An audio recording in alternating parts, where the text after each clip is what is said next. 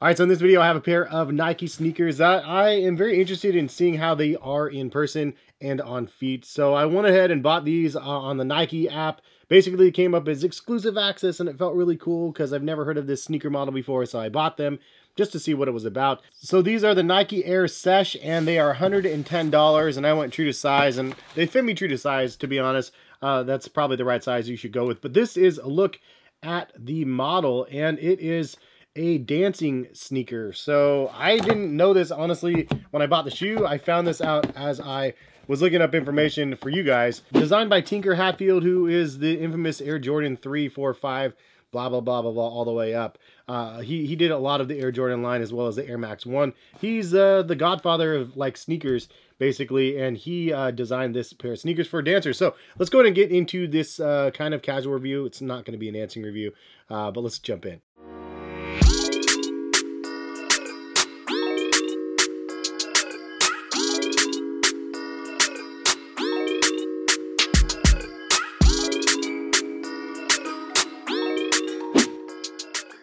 What is going on guys, Hes here. Hopefully you're having a good day out there. Thank you guys for stopping by and watching. If you guys are new to my channel, you guys enjoy the content, please consider subscribing. And if you haven't used my website, Collective Kicks, I post a bunch of sneaker deals over there for you guys every single week. So go check that out if you guys want to see what is trending. This is a, a very interesting pair of sneakers right here. So like I said, this is called the Nike Air Sesh. And it does say dance on the side of the shoe, clean. It says a bunch of words on this colorway.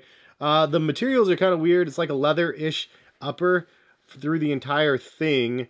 Heavy, heavy creasing right here on the side, uh, straight out of the box. So not super dope to see that, but it is what it is. Pretty much one panel on a side of the shoe, one panel on the other side of the shoe that's wrapped, and then a suede strip right down the middle of the shoe, as well as a nylon strip down the back where the pull tab is. Uh, this is a very interesting looking shoe, and the fact that it's, again, made for dancers, uh, street dancers and performers and Jabbawockeez style type peoples. I think it's kind of a cool concept. Will it be successful or not? I, you know, I don't know. I think it's hard because it's such a, a niche of like a product. People that like to dance like have like expressive freedom in their craft, right? So the fact that they are being pigeonholed or would be pigeonholed in the type of a sneaker uh, specifically for dancers, it seems inside of the box of uh, something that's supposed to be outside of the box. And I think that that alone is going to make it kind of difficult for these shoes to find its stride.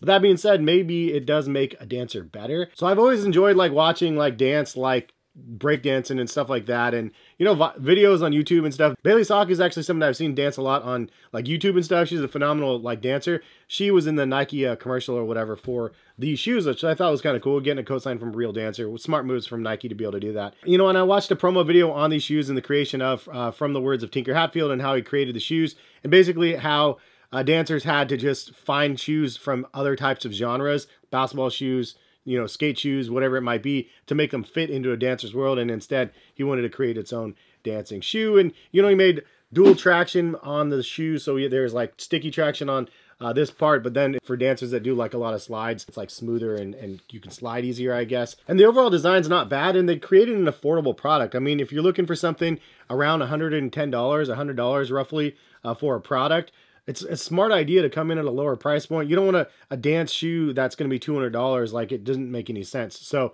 I think that they did a really smart job with that. I think the overall model looks pretty good. I feel like the upper could probably use some different colorways. I mean, from the silhouette itself, the overall shape, if, if you just had like the silhouette, it kind of looks like a Nike Dunk.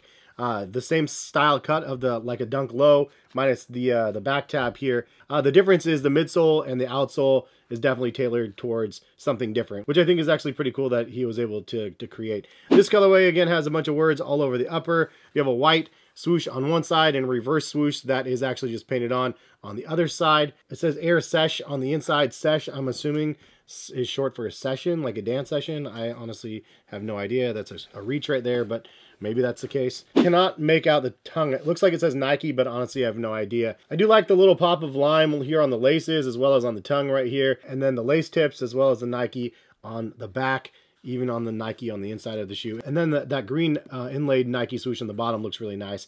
Actually, I think that probably is my favorite part of the shoe, just the overall look of that.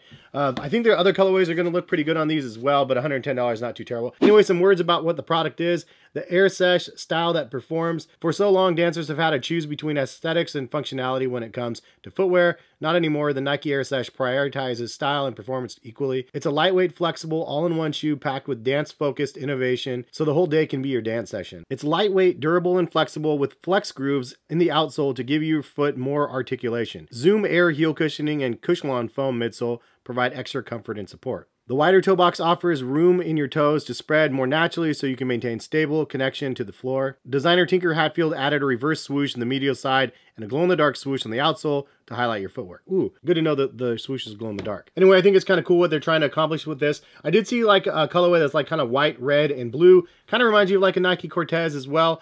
Uh, so I like that that it looks uh, like somewhat familiar to some of the people out there that maybe know the Cortez. I'm not a dancer by trade though, so I'm not going to give these a proper uh, test. Maybe we can get Chris over there at Wear Testers to do a wear test on the, the Nike Air Sesh. That'd be actually pretty rad to be able to see that. Anyway, I think this is a pretty cool looking shoe. I like the overall look of the silhouette. I think the upper is a little too plain to be honest. The primary focus of Tinker, it looks like, is the midsole. The Cushlon uh, mixed in with the glow-in-the-dark soles and the extra traction uh, and as I mentioned, smooth parts where you need it probably most, and then a little bit more rigid feel on the inside right here. I think that's smart. I think that the overall design is cool for uh, dancers, and I think that they'll probably find this pretty beneficial. If I was going to send Harrison in a dance class, I'd probably for sure throw these on his feet. The only critical point I would say is the overall upper. Uh, first of all, this material is going to crease like crazy, just as I can already see uh, from the pair that I have, just straight out of the box. Uh, and I don't like the fact that it's just a singular side panel of just like one thing and then a little bit of design. Yeah, this one has like stuff on it and there's a swoosh on the outside, but it's just weird not to have like overlays uh, or underlays or anything like that. Uh, other colorways will look really, really plain, and I don't think that's the overall look that you try to go for if you're going to be a dancer or somebody that wants to have uh, their personality show when they're like creating movement as a dancer does. Uh, like you want something that looks flashy or cool potentially on your feet. Uh, if I was a dancer, I would definitely, I mean, I'd throw down, I'd be a sneakerhead dancer like uh, some of the Jabbawockeez and stuff.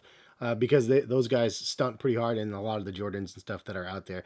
That would have been a cooler route to go. Maybe they could do something like that where they get Jabbawockeez involved to do a version of the Air Sesh, like their own designed version, because I think that would be something that can breathe more life into the to the series or the, to the product itself uh, to get that like mainstream culture involved in in the creation. They got some of them involved in the creation of the content around the product, but I'm not sure about the colorways. It would be cool to to get some like um, collaborations really from people anybody from from anywhere but other than TikTok. I'm just I'm just I'm I'm an old man salty of TikTok. I'm joking, but I know there's always a lot of debate of like dancers credibility on TikTok and stuff like that. But uh, but there is a lot of really good stuff out there as well. So I'm just I'm just joking around with y'all. But this isn't bad. The glow in the dark swoosh looks pretty good. I'd say overall comfort of these things, I would give it maybe like a 7 out of 10. It's not anything crazy amazing, but it's not bad by any means. Cushlon is always nice. You could feel it on the sides. I knew it wasn't React because it's pretty darn soft, uh, but you don't feel that amazing softness from Cushlon that it can offer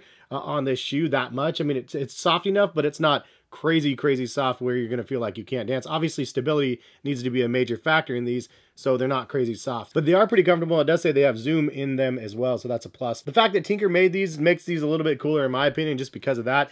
Uh, but this uh, this model will be interesting to see how it unfolds, if it sticks around or not. You know, they had the nursing shoe that came out years ago, and it was a huge success at first because it was extremely limited, hard to get your hands on.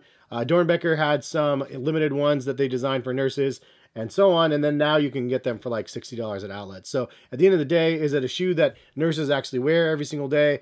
I mean, my wife did a review of the shoes when they first came out and she was like, yeah, they're, they're pretty good, but there was, they're a little bit too snug on the heel uh, for all day wear. And she's on her feet for 13 hours a day when she's in the hospital and stuff. So uh, it's not a shoe that she would wear every single day, and she is a nurse, and those shoes are designed for nurses. And so is this shoe going to be something you see on dancers' feet all the time?